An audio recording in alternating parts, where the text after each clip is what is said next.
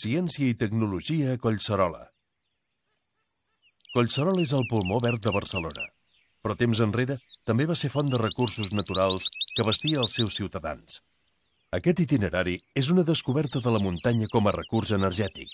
Construccions com el pantà de Vallvidrera o la mina Grot formen part de la història de l'enginyeria que ens explica l'ús de la tecnologia per tal de proveir-nos energèticament.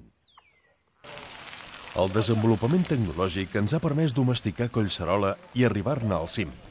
La introducció del funicular del Tibidabo va suposar una revolució dels mitjans de transport. A casa nostra mai no s'havia vist aquest telefèric terrestre que desafiava el desnivell de les muntanyes. Un innovador enginy que no va trigar a multiplicar-se per altres zones d'alta muntanya de l'estat espanyol. El cim de la muntanya de Collserola acull construccions i barris que s'han servit dels avenços tecnològics per tal de conviure en un espai aïllat, alt i envoltat de natura.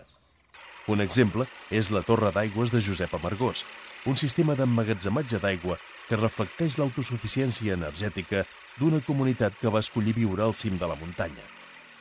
L'espai d'oci i lleure per excel·lència és el Parc d'Atraccions del Tibidabo. Però també és un laboratori i un gabinet d'enginys tecnològics.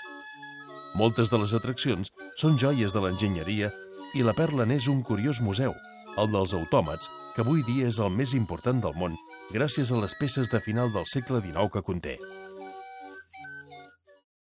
Molt a prop d'aquí s'aixeca la torre de telecomunicacions del prestigiós arquitecte Norman Foster.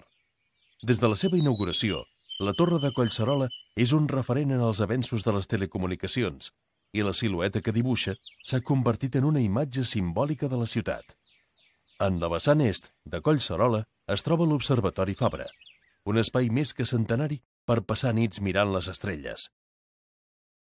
Baixant i ja al peu de la muntanya, trobem el Museu de la Ciència, que amb més de 30.000 metres quadrats d'espai expositiu i de divulgació científica tanca el nostre recorregut.